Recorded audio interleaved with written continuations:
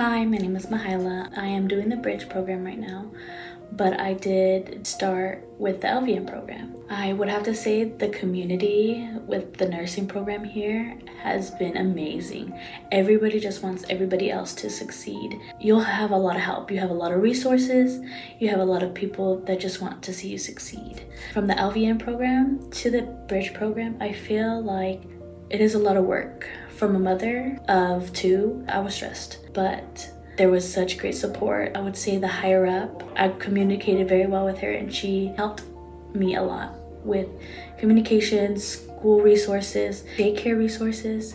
It is tough. The nursing program is tough, both from the LVN and the bridge now, but I would have to say read your book. That's going to be your best friend throughout this whole process. You could do it. Other mothers could do it as well. Don't feel discouraged. No matter where you are in life, you can be better and do better for yourself, for your family. Don't give up. From a person who did not good, do good in high school, I succeeded here in college with my nursing degree. Book is your best friend.